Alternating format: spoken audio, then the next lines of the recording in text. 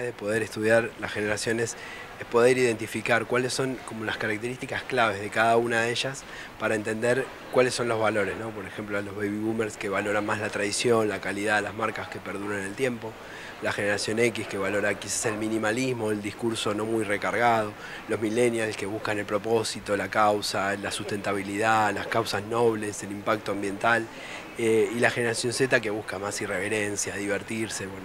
Entonces con esas premisas las marcas pueden entender qué tipo de acciones deberían tomar para cada uno de estos eh, tipos de consumidores y poder accionar eh, más fuertemente campañas, diseños, envases, productos que estriben en estas necesidades que tienen los consumidores.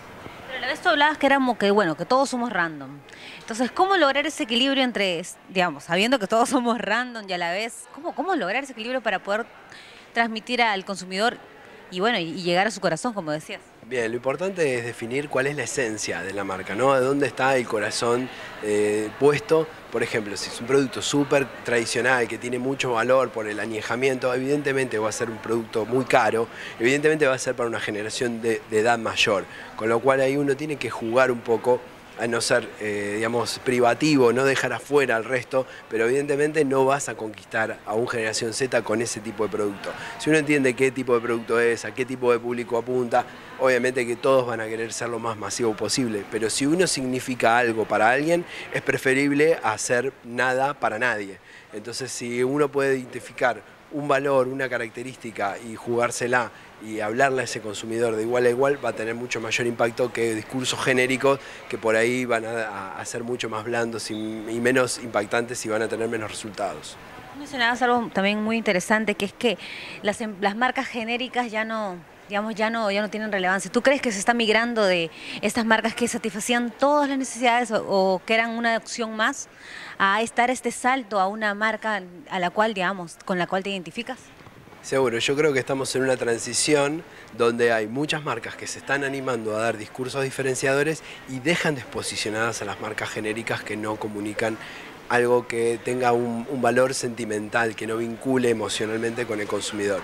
Evidentemente hay categorías que tienen mayor afinidad que otras, un papel higiénico, digamos, pero bueno, no por eso no tiene que dejar de ser interesante, porque también lo va a tener que empezar a consumir un, joven que se va a vivir solo.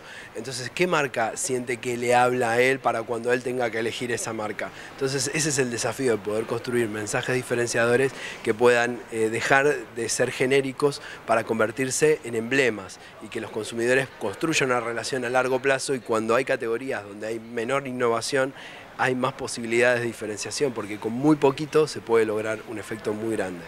Por último, en un contexto de crisis económica, con estos desafíos que estamos viviendo, ¿por qué las marcas tienen que tomar en consideración aún más esto? Me imagino que para un mejor aprovechamiento de sus, de sus inversiones. Hay una anécdota de un corredor de Fórmula 1 que decía que cuando chocan y hay un choque en la carrera, todos frenan y él acelera y pasa por el costado.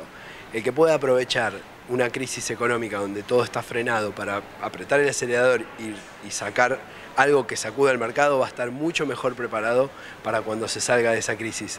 Es, muy lógico que en la coyuntura nadie quiera arriesgar demasiado, pero el que se anime a hacer algo distinto puede sacar provecho, porque cuando los demás estén empezando a pensar qué hacer de nuevo, es, esa marca, ese competidor va a estar un paso más adelante y va a poder seguir hacia, digamos, hacia un avance mucho mayor, de mayor impacto cuando todos están quietos. Eh, las inversiones son relativas, no, no necesariamente innovar es caro.